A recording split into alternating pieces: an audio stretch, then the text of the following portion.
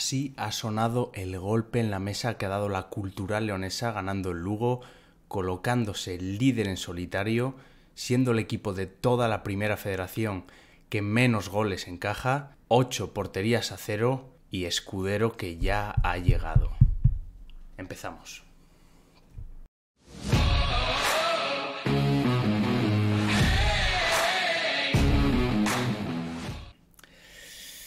Qué contentos estamos. Qué contentos estamos, ¿eh? Pues eso, lo que digo, que la Cultu ya es líder después de esa victoria sin ningún tipo de paliativos en el Ancho Carro contra el Club Deportivo Lugo por 0-3, doblete de Escudero y otro gol más de Bicho, que ya es el pichichi de nuestro equipo. Y qué partido, madre, qué partido, qué partido.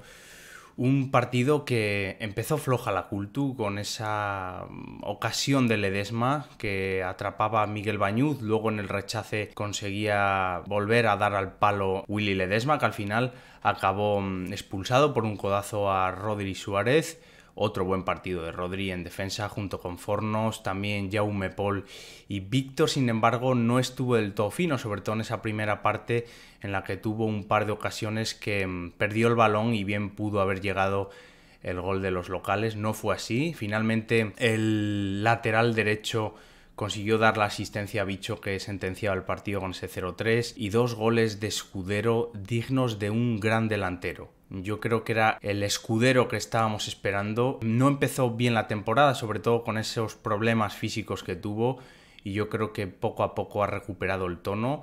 Y os voy a dejar este vídeo que el otro día grababa Cristian Fernández en la cadena 987 y que decía esto. Ah, yo me niego, me niego a pensar que los delanteros que, que tenemos, que tengo, son les falta gol, porque lo veo en el día a día, lo veo entrenando, es gente que además tiene una trayectoria, hablo de Guillermo Escu y de Dorian. Bueno, aquí vemos cómo confiaba plenamente en sus delanteros cuando Cristian le preguntó si era necesario fichar un delantero en el mercado de invierno, pero es que, bueno, yo creo que hasta ahora Escudero había hecho un trabajo muy silencioso, ¿no? Con ese pase que le daba Martín Solar para que marcara el primer gol en el Reino de León contra la Sociedad Deportiva Logroñés, o también la recuperación eh, en esa jugada que luego daba el balón a Calderón para que se adelantara la Cultu por medio de Bicho es decir, un delantero que lleva trabajando tiempo para el equipo. No había tenido el gol. Si es verdad que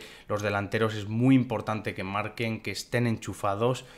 Y ya yo creo que era lo que le faltaba a esta culto que sus delanteros se enchufaran. Lo ha hecho Escudero, que ha conseguido enchufarse y bueno, esos tres puntos que, como digo, colocan a la Cultu líder en solitario en la jornada 12 eh, y que es que no sé, yo creo que nadie se esperaba llegar a este punto de, la competición siendo líderes y sobre todo haciendo un fútbol que es muy vistoso de ver, un fútbol Made in Jona, donde bueno, el toque y la profundidad eh, están siendo protagonistas.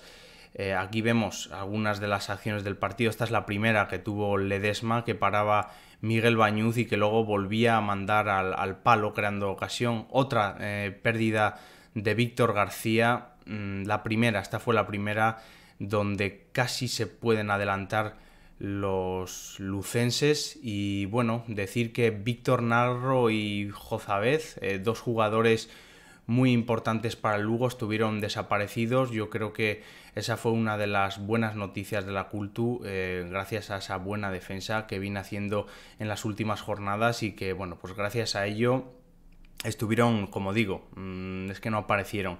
Esa era la última ocasión que tenía Víctor García en la, última ocasión en la segunda parte y bueno, ya empezó la Cultu en, en la segunda mitad a apretar, sobre todo eh, con disparos desde fuera de la frontal. ahí llegaría el gol de Escudero con ese zurdazo.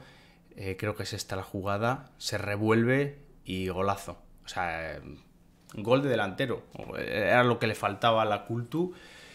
Em, muy bien, en todos los aspectos, la Cultu de nuevo, otro partido más que mm, poco que achacar, si había antes que achacar esa falta de, puntería, esa falta de definición, creo que con este partido se ha quitado pues eh, esa espinita ¿no? que tenía clavada.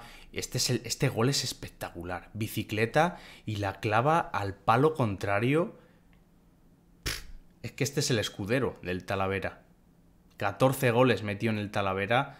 Me diréis que el Talavera no era un equipo Em, pues eso, un, equipo con peso, pero aún así meter 14 goles en un equipo que desciende, yo creo que es síntoma de buen delantero. No sé, vosotros me diréis.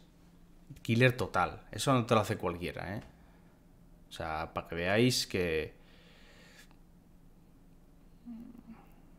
Aquí tenemos esta ocasión que tuvo el Lugo, que a punto estuvo de acortar distancias, y luego este contraataque muy bien llevado por la Cultu. Eh, Víctor García ve la incorporación de Bicho y Bicho de cabeza la clava. Como decía, un bicho que ya son tres goles, otro gran partido que ha hecho. Por cierto, también quiero nombrar a Kevin Presa, que me pareció que hizo eh, un partido muy soberbio, controlando los ritmos del partido. Y bueno, pues con ese orden característico que que tiene la Cultu y que le caracteriza, bueno, pues así se adelantaba, ponía el 0-3 la Cultu, esta última ocasión que tenía... Ah, no, perdón, esta es la tarjeta roja que le sacan a Willy Ledesma por esa acción con Rodri Suárez. Parece ser que fue un codazo. Ahí, ahí lo podemos ver mejor. Sí, sin balón eh, es agresión, realmente es agresión y de hecho le pueden caer incluso dos partidos, veremos a ver eh, cómo se desenlaza todo. Y bueno, esta es la última, aquí va a pitar el árbitro y esos tres puntos que le sirven a la Cultu para ponerse líder. Así que, eh, bueno, pues varias conclusiones sacamos, sobre todo Escudero, la llegada de Escudero me parece crucial. La clasificación queda, os lo voy a poner por aquí, la clasificación queda así, así que la próxima semana eh, llega al Reino de León el Barça Athletic, otro auténtico partidazo.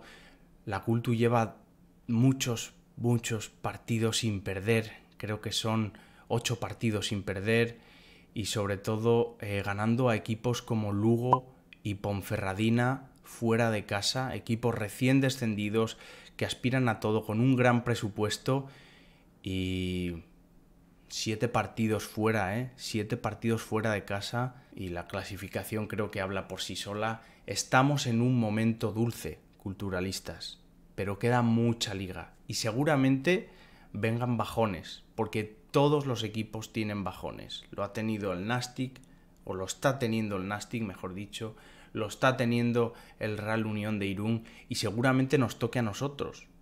Pero es que hay que seguir apoyando porque esta idea, este equipo, estos jugadores, este cuerpo técnico tienen muchos motivos para creer, ya no solo hablo de puestos de playoff, sino para creer en ascender.